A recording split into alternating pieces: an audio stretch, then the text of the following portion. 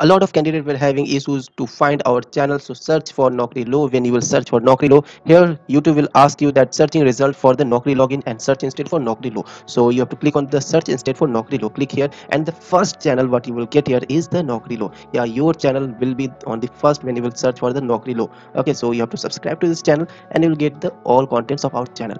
Okay so let's start this video Hello ladies and gentlemen, welcome to my channel Naukri Low. This is your host Debashish Kumar and in this video I'm going to tell you that what would be a salary of a Infosys employee if he stays in Infosys for a long 5 years. Okay, what would be your salary if you are planning to join Infosys as a fresher and what would be your salary in coming 1, 2, 3, 4 or 5 years. Okay, so let's start this video without any delay.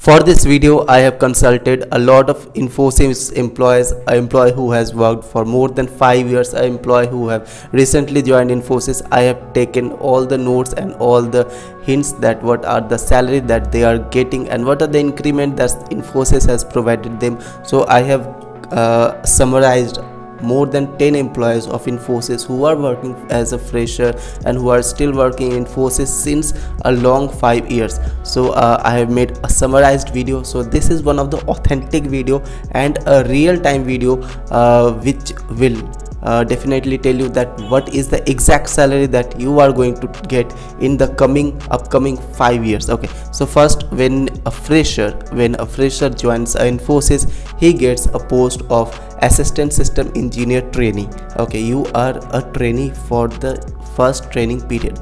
Uh, the training period will depend on infosys and on you also that uh, how much fast can you learn. The things that infosys is uh, giving you training of those sort of things. So uh, the maximum training period for infosys fresher employees is six months. Okay. Uh, when you join infosys they give you uh, CTC of 25,000 per month. So that is the CTC you will not get 25,000 there will be a deduction of a lot of things. So basically you will get around 18,000 to 19,000 when you join Infosys and when you are in training period. So when you are in training period you will get around 18 to 19,000 uh, I have talked to a lot of employees. They are getting uh, 19,000 for their uh, training period. And after the training period when you will be trained in Infosys uh, after the training you will have to qualify a FA examination FA examination you have to qualify that. Uh, when you qualify that FA examination with more than 65% of uh, marks then you will be the assistant system engineer. The trainee word will be uh, removed from your tag name and you will be a system engineer. So uh, first when you join the infosys you will become a, a trainee. After more uh, after six months he will be a system engineer assistant system engineer. Okay.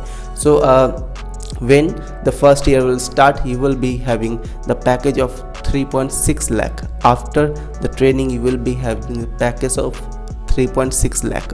So as i have told you that to pass that fa examination you have to qualify that fa examination. And if you qualify the fa examination with a lot of good marks if you qualify it with the if you are a top performer in the FA examination then you can also get 25,000 rupees bonus for the one time okay?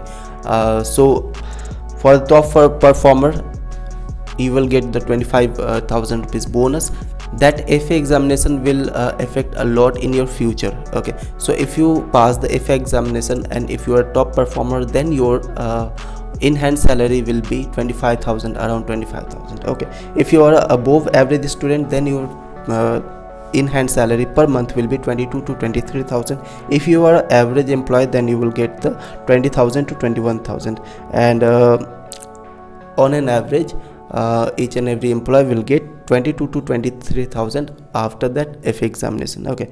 So that is for the period after the training. He will remain in this package for one year. So after one year you will be getting 8 to 10 percent of hike depending upon your performance in the previous uh, year okay? Your post your designation will be system engineer uh, before it was before the one year it was the assistant system engineer. Now after one year you be become the system engineer. You will be getting a hike of 8 to 10 percent. Your ctc will be 3.9 lpa and your in-hand salary will be around 27000 to 28000 so after two years completion of the infosys uh, you will be getting the 7 to 8 percent of hike. Uh, your designation will change into the senior system engineer from the system engineer. Your ctc will become uh, 4.2 lpa and your in-hand salary will be around 29000 to 30000 okay. After three years of completion in infosys your uh, ctc will be around 4.5 lpa and your in-hand salary will be around 3.32000 and you will be getting a 6 to 10 percent of hike depends upon the uh, performance in the previous year.